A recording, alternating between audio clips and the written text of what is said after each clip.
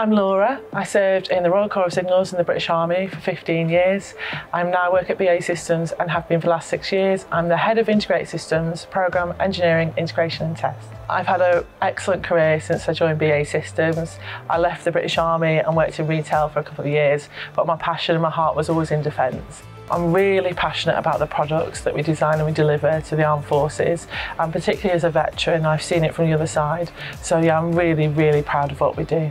I've not had a direct entry into the engineering route. I've come in as a project manager and what I've realised is that whilst I might not be a chartered engineer and I might not be an engineer on paper per se, is that I'm leading a really complex engineering challenge.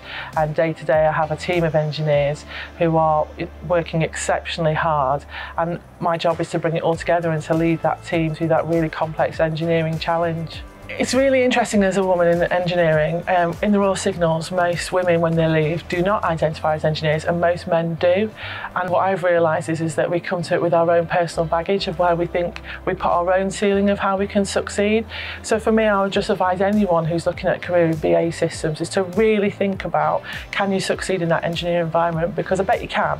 I'm surrounded by excellent uh, engineers, women and men, and I think that anyone can succeed. So you believe in yourself and whatever you set your heart on doing, you can do it because 22 years ago, I'm not sure I quite felt like that, but today I do.